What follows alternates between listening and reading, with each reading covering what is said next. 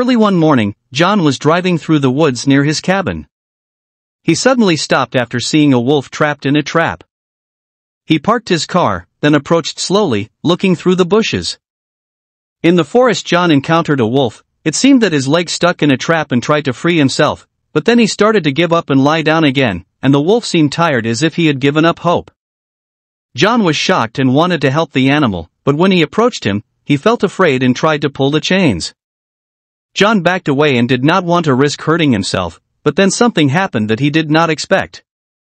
The wolf was clearly a female, but that alone wasn't the surprise. Her breasts were full of milk, meaning there had to be puppies somewhere waiting impatiently for their mother, and that is if they were still alive.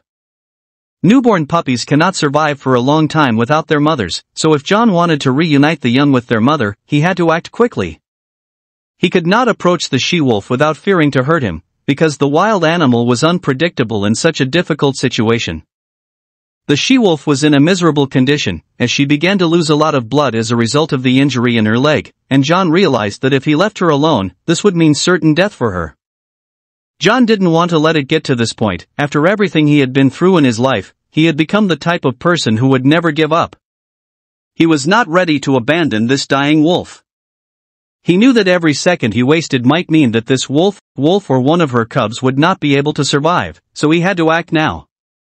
John didn't know how to get the wolf's leg out of the trap, but he gathered all his courage and approached.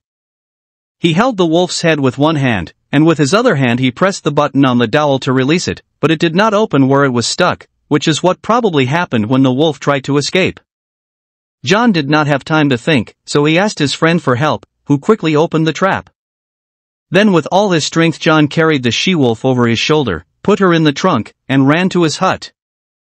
He placed the lupus next to the heater because the temperature drops, and once the house is warmed.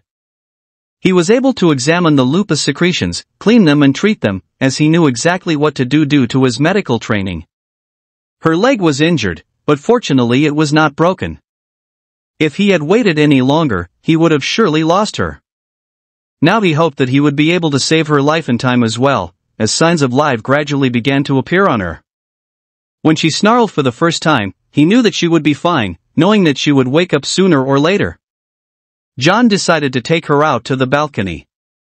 After he took care of the mother wolf and she was doing better, he went looking for the cubs, but where could John find a nest of wolf pups?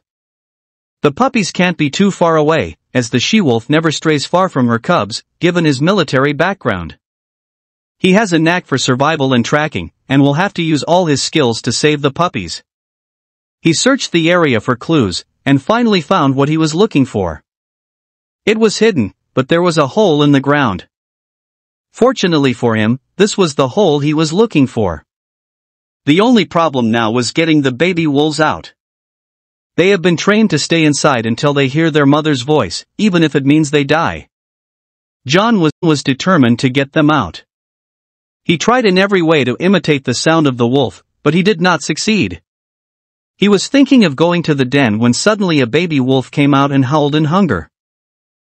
Perhaps this was one of the main reasons why he was willing to risk going out without hearing his mother's voice. After the first puppy came out, the others quickly followed. Unable to carry the four puppies together, he carefully placed them all in a bag.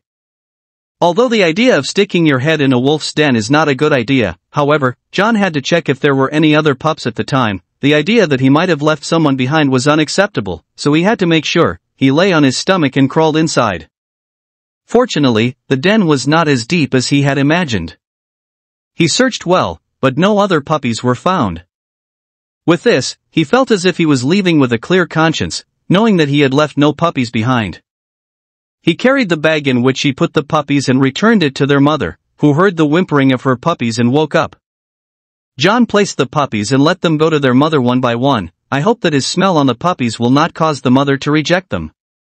The puppies recognized their mother and all bounced towards her. She began to smell the thing that took John's breath away for a moment, and to ask, will you recognize them? The dangerous adventure turned into an emotional moment when she started meeting the puppies. She lay down to let them breastfeed. The wolf had been with John for some time. She must be hungry and thirsty, so he brings her pieces of meat to eat. Although she did not trust him, she gladly accepted the food he offered her. since she had no other option. John had to go out every day to get fish or meat for the flies and to bring the pot. He left the door of his house open so that the puppies could enter to warm themselves. But he did not expect from them to invite friends to visit. When John returned one day, he was very shocked. Where his garden was full of a pack of wolves. Those who came to check on the she-wolf. It was clear that her family was looking for her and her children. John froze in fear, he was not prepared to face a group of wolves in his garden. The puppies came to him fast. They were very happy to see him. But the big wolves all turned around, they stood up, raised their heads, and began to howl. They looked like they were ready to attack. Then suddenly one of the wolves let out a loud bark. It was the she-wolf that John helped. As soon as she barked all the other wolves retreated.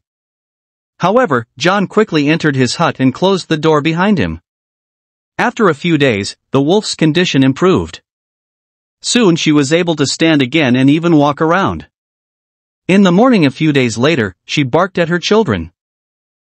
Then they were all guided and followed her. John understood that they were leaving, he never saw the herd, the she-wolf, or the puppies again. But he knew that the she-wolf and her cubs owed him their lives. What would you do if you were in John's place?